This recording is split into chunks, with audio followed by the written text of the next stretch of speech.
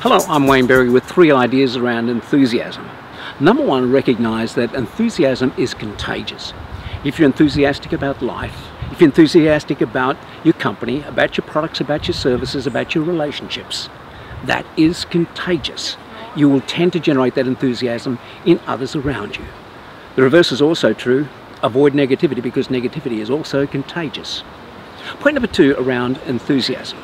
A great way to maintain your enthusiasm is continuous learning.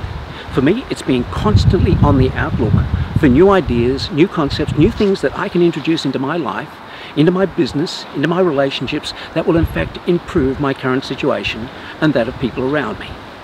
Point number three around enthusiasm. One of the best ways of generating enthusiasm in our lives is through accomplishment, through achievement.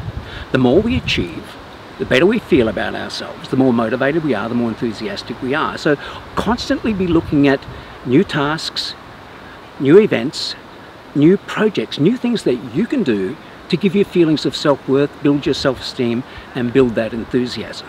It's all about accomplishment and achievement. Hey, there's three great ideas I think on enthusiasm. Take them, use them over the next week or so, and I will say, hey, have a great day, make it a great day. It will be the day that you make it be enthusiastic about it. Go for it. Bye for now.